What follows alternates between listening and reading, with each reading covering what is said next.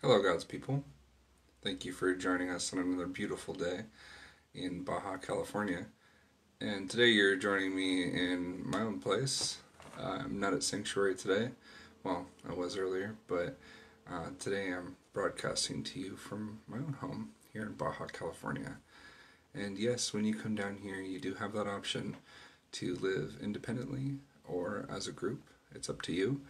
But just so you know, when you give to others, it shows itself in many ways with blessings in abundance. So, today I want to share with you a, little bit of a testimony about giving and the blessings that come with that, the blessings that come because of that. Now, when you give to the Lord's cause, blessings return to you sometimes many fold, many times, many multiples over what you had given. And it's not by accident.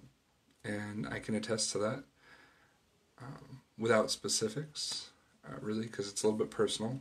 But I will say that since I've started to give of my own finances, that financial blessings have come in many times over and really that just increases my ability to give even more. So, really, not only is it a blessing from God, but it's also a test from God to see what you do with the blessings that God gives to you. And I just want you to know that even if you feel like you can't afford it, you should do it anyways.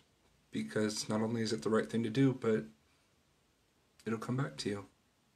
And you don't have to worry about not being able to afford it because it's the right thing to do, no matter what. So think about that.